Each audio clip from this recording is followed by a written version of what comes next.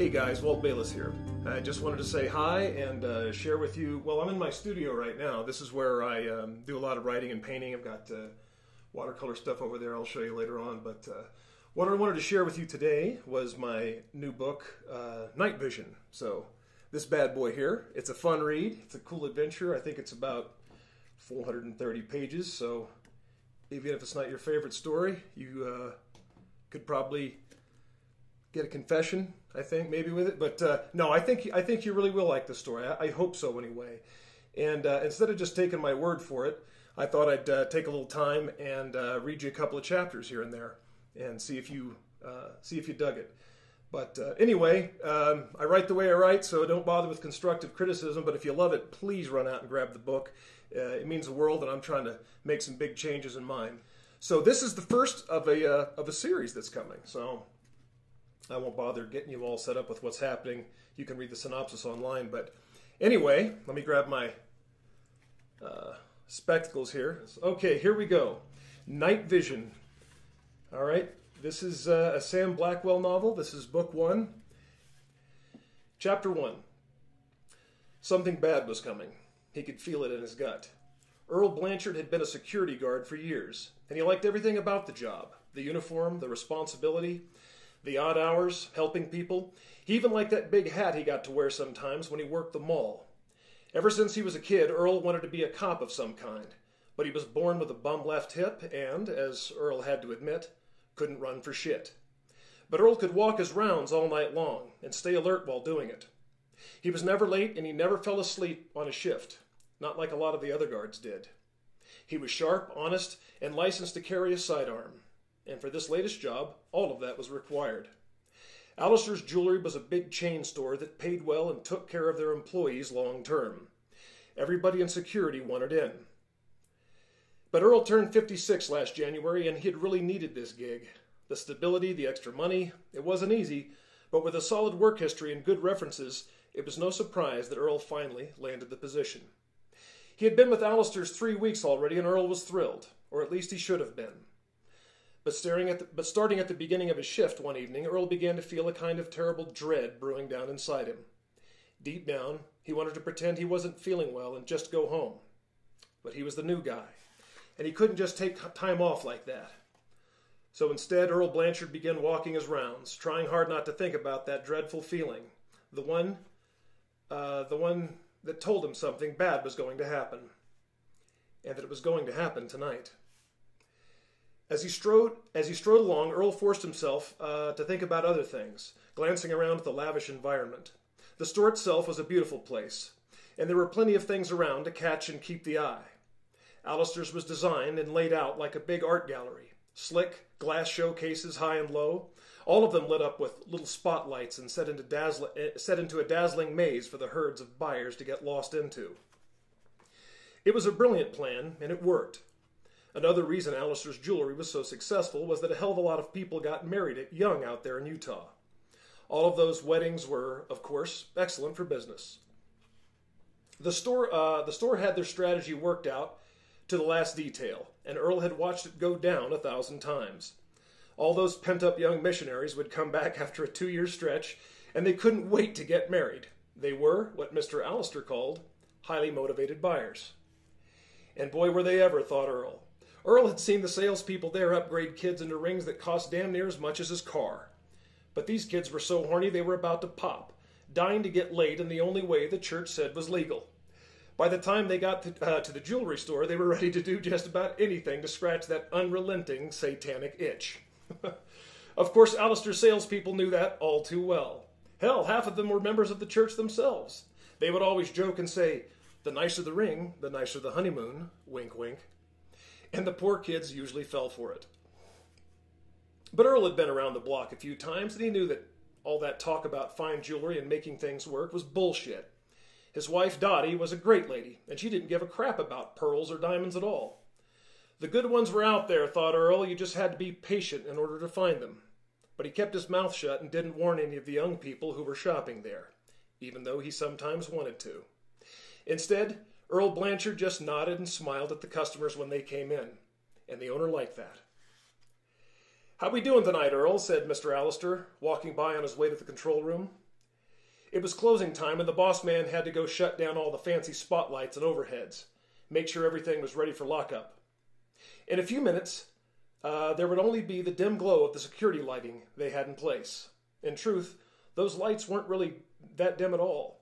In fact, they were so pleasantly illuminating that half the time Earl didn't carry his flashlight. But after the blazing heavenly glow of the open storefront, it took a little time for his eyes to finally adjust. But by around midnight or so, that place would be almost as comfortable as his own living room. Which was damn nice for a change. In the past, Earl had worked places where they just left him in the dark all night long, or maybe stuck him alone in a corner somewhere, just sitting on his ass. That can really get to you after a while. But this place, thought Earl, this place was a dream. There was all that pretty scenery, of course, all that fancy jewelry sparkling around, uh, sparkling around him under glass. Posters of beautiful women smiling seductively as he walked his rounds. Nice furniture to rest on if he got tired. Nice everything, really. The owner called it uh, the spirit of opulence, and Earl understood. Mr. Allister wanted people to feel wealthy, even if they didn't have very much, and it was something he wanted for both his customers and his employees. So he did little things like keep the store at a cozy temperature overnight. That was definitely a first. Some stores allowed the place to turn into a goddamn icebox after hours, let the night guard freeze to death with only a cup of coffee and a cheap space heater to keep him warm. But not Allister's.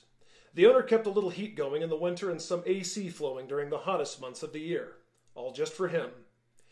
And then, of course, there was Earl's favorite perk of the job the big break room stocked with all kinds of tasty snacks and sodas in case he got hungry.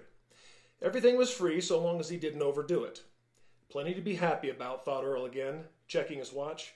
But the man didn't feel very happy at all. That the awful dread that was nagging him earlier was still twisting inside his stomach and deep down he knew it was something that he couldn't ignore. The fact was that Earl had gotten bad feelings like this before, and almost every time something bad had actually happened. One time it was a thief that tried to break in during the middle of his shift. The guy was out of his mind on drugs and dangerous as hell. Another time a vicious gang started vandalizing the place with, uh, with crowbars and bricks. Pretty scary stuff if you're stuck inside someplace all alone. And every time that bad feeling had tried to warn him, Maybe it was some kind of ESP, like his wife said, and he should listen to it. But Earl always just ignored the feeling and stuck out his shift, telling himself that it was the right thing to do. Each time, though, the danger kept getting closer. In fact, the last time Earl got a bad feeling, some lunatic tried to set the whole warehouse on fire while he was still inside. Smoke everywhere. That was a close one, thought Earl. Too close. But those stores weren't like Allister's, Earl kept telling himself. This place was, wasn't some flimsy warehouse. This place was prime.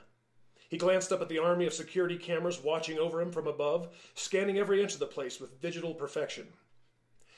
One red flag and the security company called the cops. On top of that, everything was reinforced and nearly, nearly impossible to penetrate after full lockdown. So what the hell was he so worried about? Earl's stomach churned, and he checked his watch again. It was a little after 9:30 when Earl heard the switches in the control room start to fall. The bright overhead lights began fading out, one row at a time, and then that little dis- and then the little display lights blinked out quietly after that. A few moments later, Mr. Allister appeared, waving good night. Earl waved back and watched as the owner headed out, pushing his way through the first set of reinforced glass doors.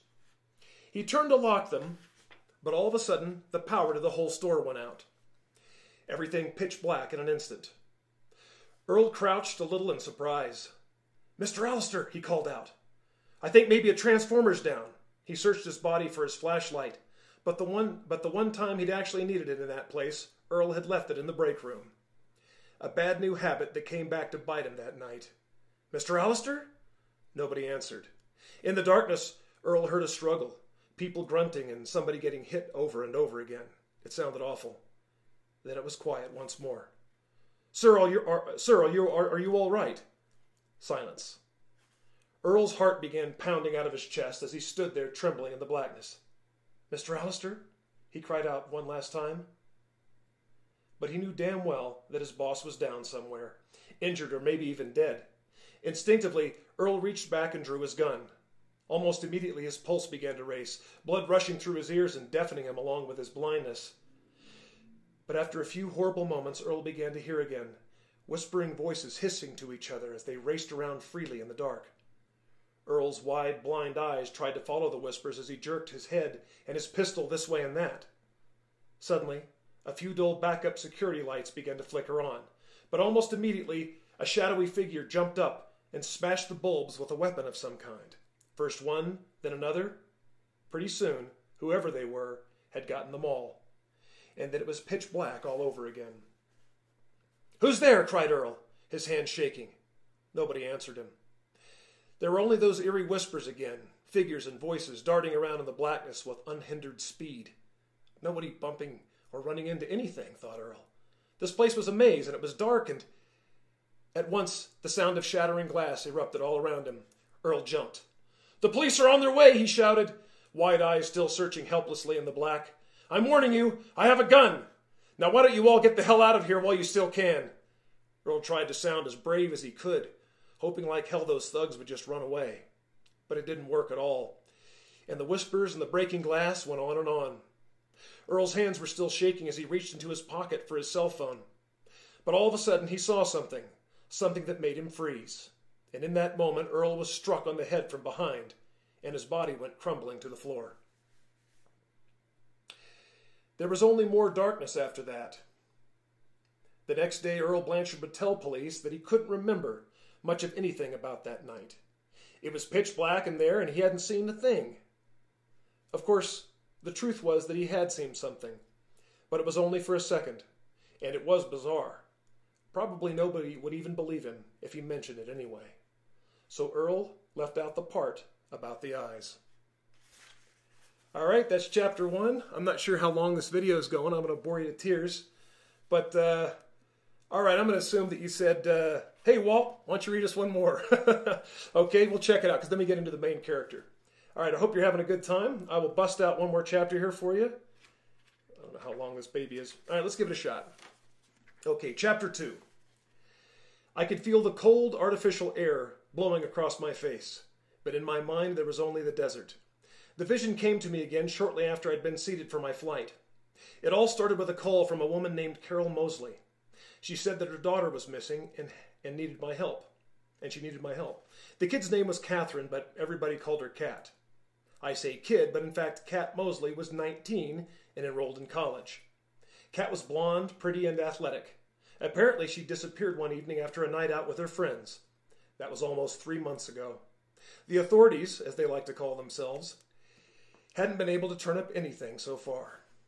Naturally, Carol was desperate. And desperate is exactly how most people are by the time they reach out to a psychic investigator for help. I get thousands of requests every year, but I only really look into a handful of them.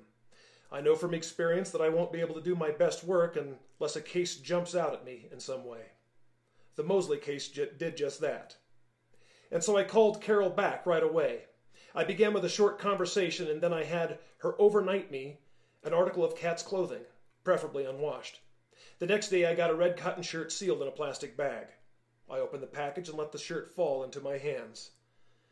The unsettling desert scene flashed into my mind. I, called, I, I called Carol back and described part of my vision. It must have hit the spot. The next day, I had a first class plane ticket waiting for me at the San Diego International Airport. Round trip to Salt Lake City, Utah. So there I was on the plane, sitting in my seat with that red t shirt still in my hands. At the moment, uh, I was lost once more into the vision it kept showing me the open desert, the high blowing dunes, and then someone screaming for Cat to run. Can I get you something? My eyes flashed open and I saw the flight attendant standing there with a drink cart. She wore a bright, kind smile that seemed genuine. Her name tag said Ellen. I checked my cell phone for the time, pretending for a few seconds to deliberate about having a drink so early. But honestly, my head was pounding from the vision and I was eager to take off the edge. I let the t shirt fall into the empty seat beside me and nodded. Bloody Mary, I said, if it isn't too much trouble. Not at all, said Ellen. She leaned in and whispered, And since it's your birthday, I'm going to make it a double. I glanced around the plane and then back at the short haired redhead making my drink. May I ask how you know that? I said, uh, that it's my birthday? I hope you won't be too upset, said Ellen. I just recognized you from that TV show you did. Finder, right? You watched Finder, I said. How'd you like it? Are you kidding? said Ellen. I loved it. Do you think there might be another season? I kind of doubt it, I said. Maybe another book if I can find the time, but work's keeping me pretty busy at the moment. Well, I'll be sure to read it if you do, said Ellen. A soft hand came up for me to shake as the young woman formally introduced herself. Sam Blackwell, I said, taking her hand. But I guess you already knew that. You're not angry, are you? No, I said, I'm just a little tired. You buzzed all your hair off since your last show, she said. It's a good look on you. It was more about simplicity than looks, I said, but thank you, I appreciate that. Ellen lowered her voice. Listen, she said, leaning in to place my drink. I know you like your privacy, but if you need anything at all, just let me know, okay? She tapped a bright red fingernail on the cocktail napkin and smiled. That's very kind of you, I said. And if you wouldn't mind, Ellen was already making a zipping and locking motion over her lips, and then she threw the key away. Thank you, I said. And then Ellen left. Suddenly, there was an old woman in my view, staring at me from uh, her seat across the aisle. Her head was turned sharply in my direction, dressed in black, like for a funeral, and then her eyes turned black as well. She bared her teeth at me, and I watched them go sharp, from human to reptile in an instant. Her human flesh rippled away for a moment, revealing the scaly truth underneath. It was something that only I could see, and the old woman knew it. Quickly, she turned away and stood up into the aisle. I heard her ask one of the attendants if she could be seated somewhere else for the remainder of the flight.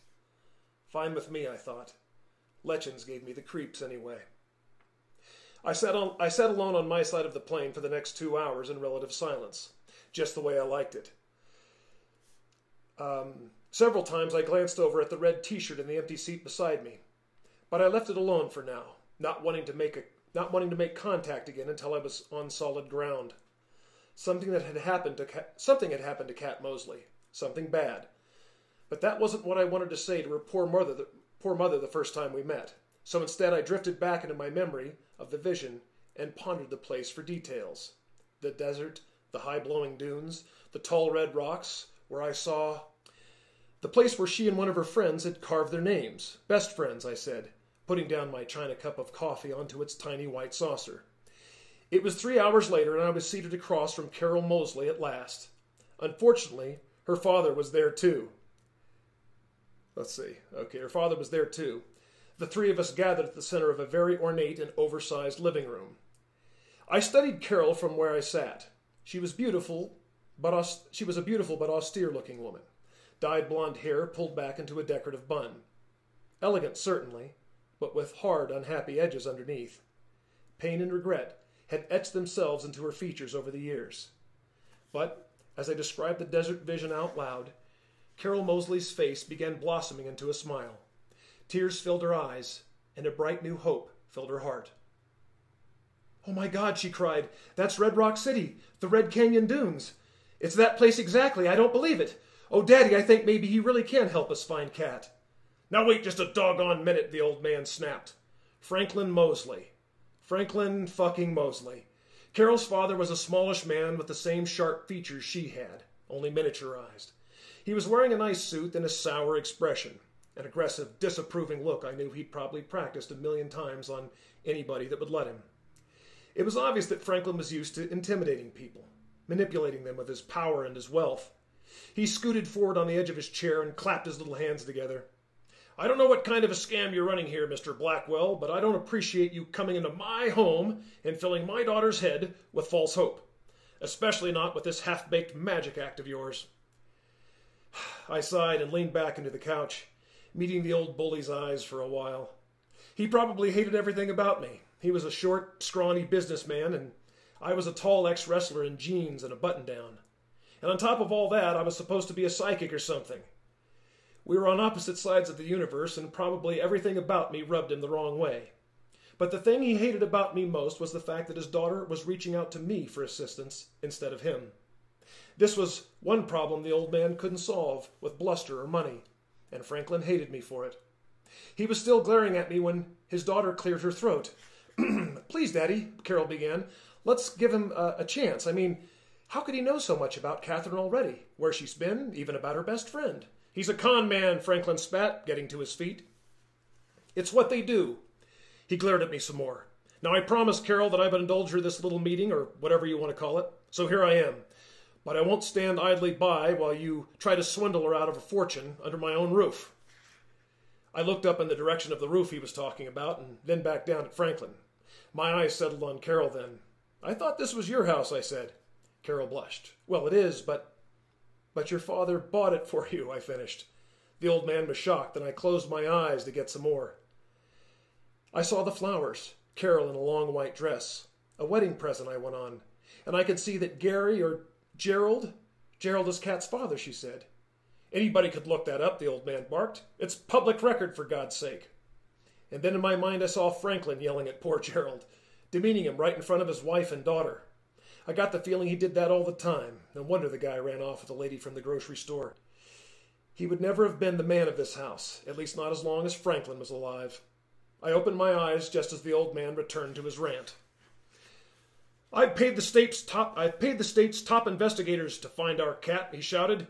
And let's not forget the work of half a dozen police detectives and the FBI. Now I'm supposed to stand here and believe that you're going to waltz in and save the day? And for one hell of a fee, no doubt. Well, I'm no fool, Mr. Blackwell. I want I want you out of my house this instant. But Daddy, not another word. Out. Let me sit up here. Sorry, guys. He's pissed. Franklin's pissed. The room was still ringing from the old man shouting, ringing for a good 30 seconds after he was done. But in the end, I was still sitting there calmly on the couch. Did you hear me, mister, or do I have to call the police? Carol, I said, would you mind giving the two of us a minute alone? I need to speak with your father in private. I have nothing more to say to you, Mr. Blackwell. But I have something I'd like to say to you, I said. Carol? Carol was flustered, but she nodded at last and then slowly edged away. I waited until she was out of earshot before I smiled at the grumpy old man again. Sit down, Franklin, I said. You gotta give yourself a stroke acting like that. Now listen here, you two bit. Sit down, I said again, a little louder this time. It was the one tone I knew this old windbag wasn't used to hearing. But then I softened again. I'm gonna make you a deal. A deal, Franklin scoffed. What the hell kind of a deal do you think you can make with me? There's nothing on God's green earth that you can offer me, sir. And there damn sure isn't you have another daughter, don't you? I most certainly do not, Franklin growled. Carol is my only Lisa, I said, trying to get the picture to come clear. Or Elisa, is that right? Wait, it is Elisa. She'll be 20 this year. In an instant, Franklin's lips snapped shut and his face went red. I knew that look well. It was the look people always got when they suddenly realized two things. One, that I wasn't a fake after all, and two, that they had at least one really dirty secret that was right out in the open now, at least to me. So we just sat there for a while and let the reality of, all, uh, reality of it all sink in, of all that sink in. After a minute or so had passed, I leaned in and spoke quietly. Listen, I said, I don't take on every case that lands in my lap, but I've got a feeling that I can help here. And yes, there will be a fee. I have expenses. I'm sure you can understand that. All I'm asking is that you don't stop uh, is that you stop trying to get in my way. I have enough interference to deal with as it is. Now if you'll just let me do my job, I will do my best to help you with that that other thing. No charge, okay? And in the meantime, your secret is safe with me, I promise. You promise, scoffed Franklin. Yes, I promise. The old man the old man's face was still red, but he didn't say another word after that at least not to me. He just buttoned his suit and then stormed out, uh, then, and then stormed straight out of the living room in a huff. I could hear him grumbling at his daughter on the way out of the front door. Something about how she could do whatever the hell she wanted to and that he wasn't going to be party to it. The front door slammed and Carol came walking tentatively back into the living room. She gestured back the way she'd came. I never seen him like that. I, have never seen him like that, she said. What did you say to him? It was personal, I said. Nothing bad, I promise. Just personal. All right, said Carol, slowly sitting down again. Personal, fine. So what do we do now? If you're ready to get started, I said, I'll need half in advance, and the name of Cat's best friend, where she lives, and all that. Something with an S, am I right? Stephanie, Carol said. She got out her checkbook and began writing. Stephanie Holt. She lives a few miles north of here.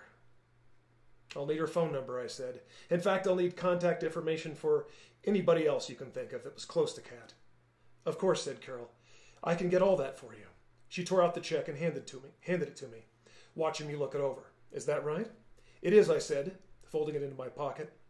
I stood up from the prissy couch and my tiny cup of decaf. Do you mind if I have a look around Cat's room while you find those numbers? Not at all, said Carol. It's right this way. I followed the tall blonde woman back into the southern half of her very large house. It was then that I first heard the faint scratching sounds coming from somewhere up ahead. And then the pungent smell of sulfur began wafting through the air. All right, guys, that's the end of chapter two.